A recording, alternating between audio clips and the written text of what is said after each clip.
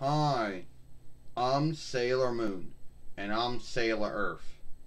And today we're going to talk about, you know, YouTube's. Well, today we're actually going to talk about some folks in the Sailor Moon followership, and, you know, so, alright. So today we're going to talk about, you know, only girls being fighters? Is it a true oversight or is it not? Now, when many folks have talked with Nako Takaguchi over the years about why only girls or women were sailor fighters, she said that only girls and women could be sailor fighters.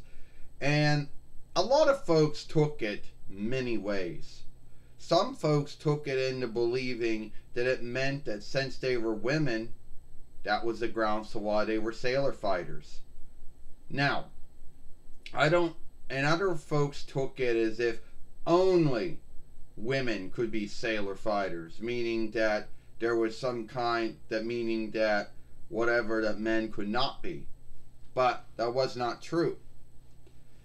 Uh, if you go into Sailor Stars, both the Toei and the Viz work, you will know that there are the Sailor Star Fighter and Sailor Star Maker are men. When they shapeshift, they do become women, or they get women, women uh, body breaks or chunks or whatever you want to call it on them. But they're men until they shapeshift. So this oversight which only seems to be a thing if you're truly working on truly offshoots of Sailor Moon. Now, there are some Sailor Moon followers out there who follow this to a T when it comes to their sagas or, I don't know, their fan film, their follower films, or whatever. But you don't really have to follow it because you're not Toei, you're not Viz so it's not like you're going to get handicapped in that way. Well, like, what do you think about it?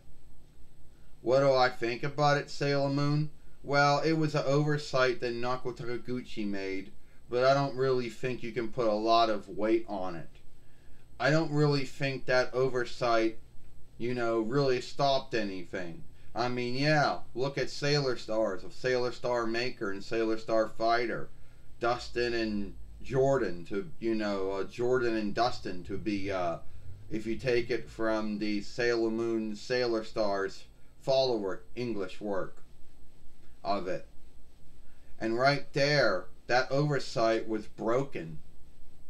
You know, nowhere else in Sailor Moon do you see that oversight being broken except there. And let's be honest, it's not like and I know I know some folks out there are going to say, "Oh well, and Viz, yeah, well, Viz just did the English work." So you can't say that it was shifted over. It was not. Every other offshoot of Sailor Moon, yeah, they're women, but and Sailor Star, Sailor Star Maker, and Sailor Star Fighter are men um, until they shapeshift. Then they become women in some way. So right there you have that oversight not being followed and I know a lot of folks out there will say, but that may have been the grounds to why Nako Takaguchi and Toei had a fight over where Sailor Stars was going. That may have been it. You know. I don't know. But only girls to be can only be fighters or only women can only be fighters. It I believe that anyone can be a sailor fighter. You know?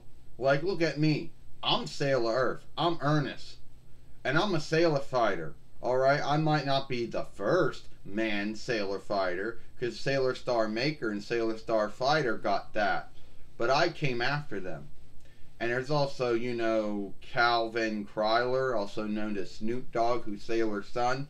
Yeah, I know this isn't true, like, I can't go out there and show any truth to me being Sailor Earth or anything, but that oversight was broken. And what was the handicap? Well, you're right, Sailor Earth. if there was any handicap that had been put down on Toei for not following the oversight was you don't get uh, that the rest of the world doesn't get Sailor Stars until years later. That I don't really. That had to do with some other kind of fight between Naoko Takiguchi and Toei that I already made a film on. But I believe that if there was any handicap that may have came out of it, there really wasn't. You know, there may have been.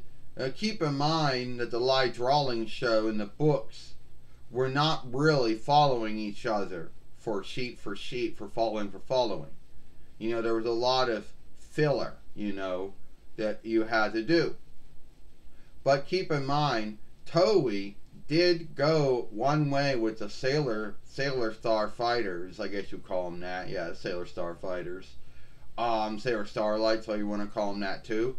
That they were bold enough to make two men Sailor Fighters but then under the oversight, they had to become women once they shapeshift. Now, I'm not going to say that, and that just went to show that a oversight that Naoko Takiguchi herself came up with was being broken right off the front, but it was by five followings into Sailor Moon before you actually saw the oversight not being fully followed anymore. So I don't know if you can really put any backing on this. If you go on the live draw, the live show, or the plays, or the song shows out there, they're all women. Alright? But only one time in the live drawings was there two men. Sailor Star Maker, Sailor Star Fighter. You know, Dustin and, you know, Jordan and Dustin. Alright? So at the end of the day, I don't really put a lot of belief in this oversight. And I know Naoko Takiguchi has a right to come up and say whatever she wants because that's her crafting, that's her making. You know, she's the crafter, she's the maker, she's the writer, whatever you want to call her, the drawer of it. But at the end of the day, I don't really have to follow that oversight because what I do on YouTube, I got my own take on it. I'm not working with the actual stuff. I don't got to deal with you know, with Toei or any of their offshoots to work with any Sailor Moon things. So I don't, I'm not bounded by some lawful deal to follow the oversight. You know? Plus, at the end of the day, I don't really think anyone really cares or truly believes in the oversight. I don't. You're right, Sailor Moon. Before we end this film, I want to let everyone know that this oversight that had that Naoko Takiguchi came up with is a only an oversight that only it only works in the Sailor Moon show itself. Live drawing, live show, plays, song films, whatever, books.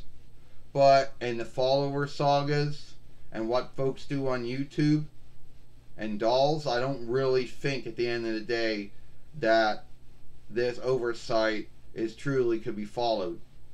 I mean, if Toei broke it and nine between 97 YL, and this they were doing, they were if the Toei didn't fully follow it, and that was nine between 97 YL, then why should we follow it here? Because we hadn't followed it since 2009 YL. So let me so, you know, let me, what's your thoughts on this oversight that Naoko Takiguchi came up with? So, if you like this film, then watch the film we made yesterday over here. Yeah, I mean, alright. Alright, Sailor if you like that, then watch the film we made over here. Or follow us here at uh, Sailor Moon for Life. I'm Sailor Moon. I'm, I'm Sailor Moon Serena. I'm Sailor Earth Ernest. Hope you like this film.